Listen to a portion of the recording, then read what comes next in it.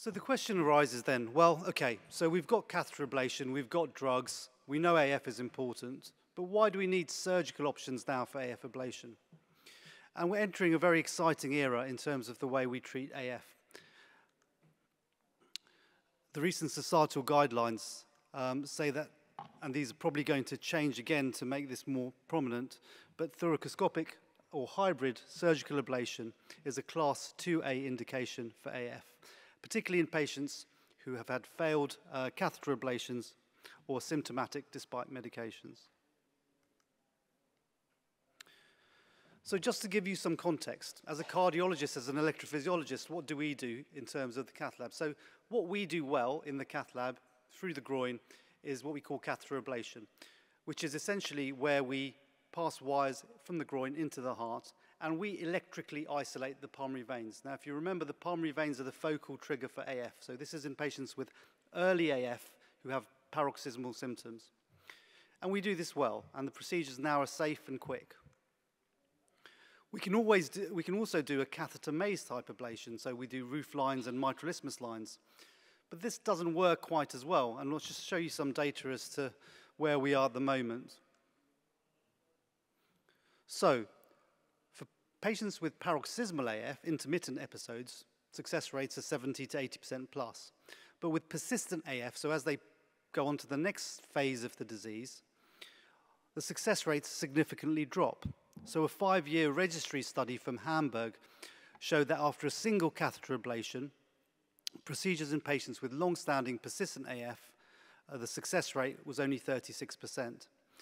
And a large meta-analysis of over 18,000 patients on the right there shows that with one procedure in patients with persistent AF, with catheter ablation, they just don't do well, and the success rate was 43%. In red, you can see what happens when we do repeated ablations, and the success rate goes up a little bit, but it's still far from satisfactory. So why is this not working? Well, we don't have a standardized lesion set. We struggle to achieve transmural lesions in the atrium. And there's a lot of data now that a lot of the drivers for AF emerge from the epicardium, i.e. from the outside of the heart, and we can't target these from the inside. So this limits us in terms of what we can achieve with catheter ablation alone. Again, in persistent AF, there are additional triggers outside the pulmonary veins. So the posterior wall the left, uh, and the left atrial appendage are other important targets which we can't address quite as well. And you'll see here some of the different mechanisms that occur in persistent AF. So patients who are in AF all the time, the left atrium becomes involved, you have rotors, you have um, wavelets, and you have reentry circuits. So all this is going on in the left atrium, and there's a lot to address. This is a video which shows what happens as the AF progresses. So you've got the posterior wall of the heart, and over time, this stretches. Now, on the sides, you'll see it's limited by the pericardial reflections.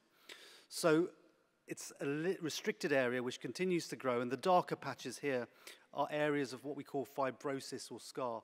And we think as the condition progresses, the fibrosis leads to more propagation of AF. So there's a term that says AF begets AF, i.e. the longer someone's in AF, the harder it is to treat. Also, the posterior wall of the left atrium, excuse me, is a complex structure. It's made of myocardial fibers which run in different directions. Um, and for, with a catheter, again, when we're ablating at the uh, posterior wall, we're particularly worried about causing damage, causing atrioesophageal fistulas, the communication between the atria and the esophagus, which can be potentially fatal. We can't achieve transmural lesions, so there's lots of reasons why we can't target the posterior wall effectively. So just to summarize, as someone goes into persistent AF, there's more of the atrium involved, there's endo and epicardial connections which need to be addressed. And there's a lot more substrate, there's a lot more disease that needs to be treated. More recently, there have been a couple of sub-analysis of large trials which have shown, well, what are the other markers of success in terms of successfully treating someone with persistent AF? And what's come out repeatedly is the bigger the size of the left atrium, the harder it is to get someone back into rhythm. And we've seen this in a few studies as the sole marker. So large left atrium equals poor success rates with catheter ablation. Now, this study again reiterates what it shows is registry data, which shows in the cath lab, in the cardiac cath lab, as cardiologists doing catheter ablations, our success rates after one year are at best average. As time goes on, two years and then three years, the success rates continue to drop. So the long-term outcomes are not good. But if we compare this to the gold standard for treating AF, which is the Cox-Maze surgical procedure, success rates are excellent at one year, but also, more importantly, they remain in place after several years. So what we're now trying to do is say, well, how can we harness the skills of combining a catheter ablation in the cath lab, but also cardiac surgery to try and emulate um, the Cox maze with non-invasive or non-open chest approaches. And so one of these approaches, which we've been running at Barts for the last 10 years or so, is called the convergent procedure. So what is the convergent procedure? Well, this is a two-stage procedure which starts with a minimally invasive epicardial left atrial posterior wall ablation performed by a cardiac surgeon to target those substrates of that posterior wall that we've seen, which is so important in the propagation of AF. This is done with a minimally invasive subxiphoid approach. And then a couple of months later, the patient comes back for a catheter ablation from the inside of the heart to um, consolidate those lesions. Um, a small graphic of what you see. So again, the surgical aspect of this is a subxiphoid approach, a small incision. The surgeon then puts an endoscopic um, endoscope into the, into the pericardium at the posterior uh, left atrium. And here you'll see the Epi-Sense catheter, which is the um, surgical ablation catheter, onto the posterior wall of the heart you'll see that there's suction, a vacuum, which sticks the um, catheter onto the wall, so we've got good contact. And then you have lesions delivered on the outside of the heart. And on the top of this picture, what you see is the darker lesions there are the radio frequency ablations, which delivered on the posterior wall of the heart. And you can get contiguous lesions across the posterior wall. So with a catheter, with the best will in the world, we can only get small lesions. But now you've got a contiguous lesion set covering the whole of the posterior atrium through a small incision. So this is just a graphic of the catheter. It's irrigated uh, ablation catheter with suction which sticks it, which helps it adhere to the posterior wall. The energy is directed away from the esophagus, so we're not worried about the risk of atrioesophageal fistulas. And then what you see here is the patient comes back a few months later for a catheter ablation. And on the picture on the right, you see different colors. So red is basically scar tissue. So when we go in and do an endocardial map of the heart, we see that the posterior wall is completely treated, is completely scarred, and you have hopefully healthy tissue around that. When we perform the procedure, we go around the pulmonary veins again because we know we can do that well. And often these patients come back with what we call atrial tachycardias, which are fast, regular atrial arrhythmias, and we can address those as well in the cath lab. We also perform a, a cavo-tricuspid isthmus line. So a real comprehensive ablation of the heart, which is minimally invasive. Um, we looked at uh, a retrospective comparison of the convergent procedure versus catheter ablation alone for these patients with long-standing persistent AF. And we said, well, how do they do?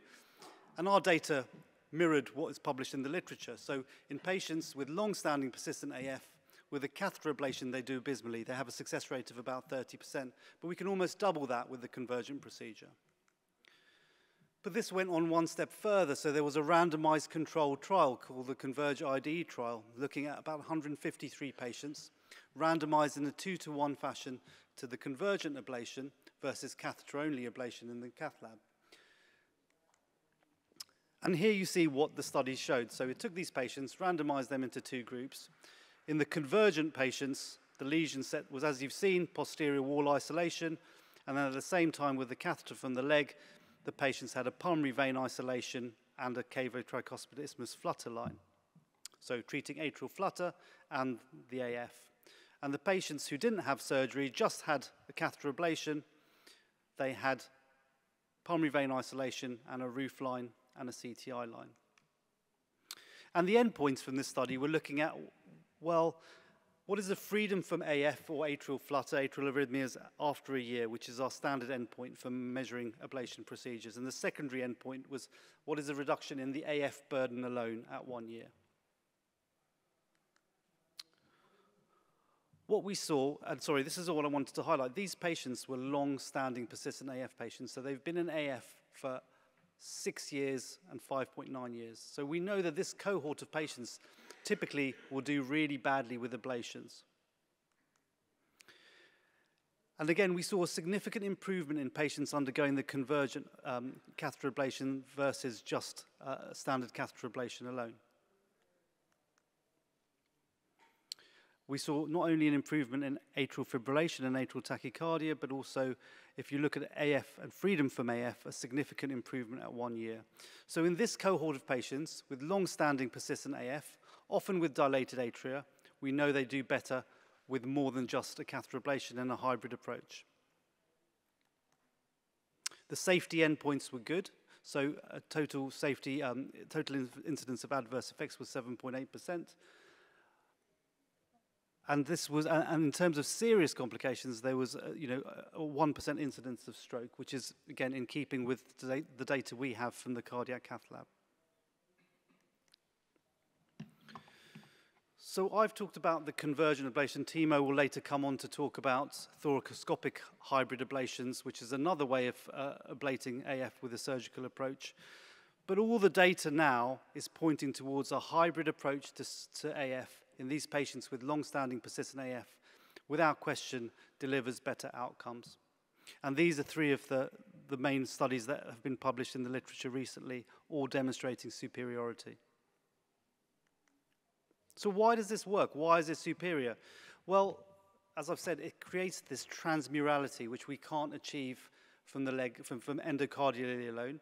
It, it debulks the left atrium, so it eliminates more of the surface area. And now we're figuring that actually the left atrial appendage is also important in this whole process. And I'll come on to that shortly. So it's this combination of debulking, eliminating triggers, which gives us better success rates with a hybrid approach. So which patients should be considered for this hybrid ablation? Well, patients with symptomatic, persistent, or long-standing persistent AF who've either failed on antiarrhythmic drugs or failed catheter ablations. And similarly with patients with resistant paroxysmal AF who have failed antiarrhythmic drugs. We know that patients with dilated left atria do badly with catheter ablations, but better with um, hybrid approaches and patients with AF and heart failure. And patients who are not suitable for this approach are patients who have had previous cardiac surgery because of adhesions um, uh, which limit access to the pericardium, patients with a significantly dilated left atrium above six centimeters, and patients who have contraindications to anticoagulant therapy. So the final part of my talk is talking about the importance of the left atrial appendage particularly in the context of hybrid AF ablation, and why this is now becoming a standard part of our ablation procedure.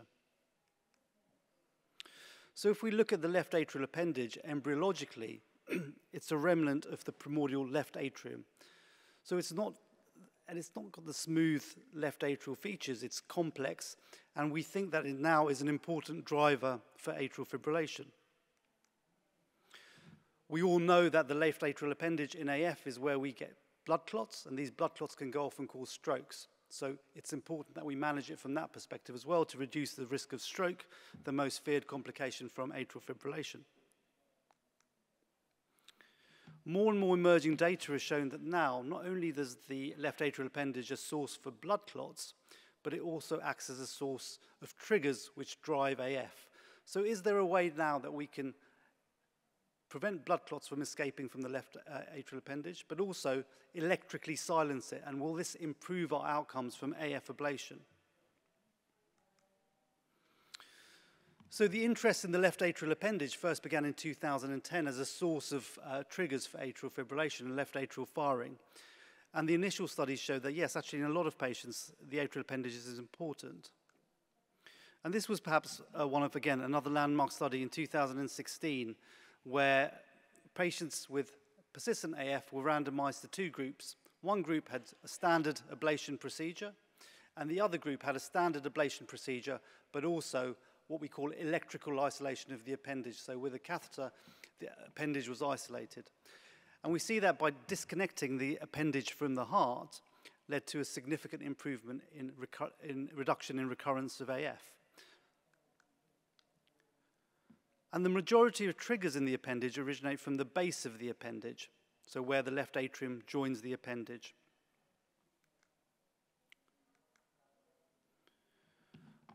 So we can try and isolate the appendage again with a catheter in the cath lab, but what's the problem with this? Well, we know that there's a high recurrence rate, so we don't do it very well.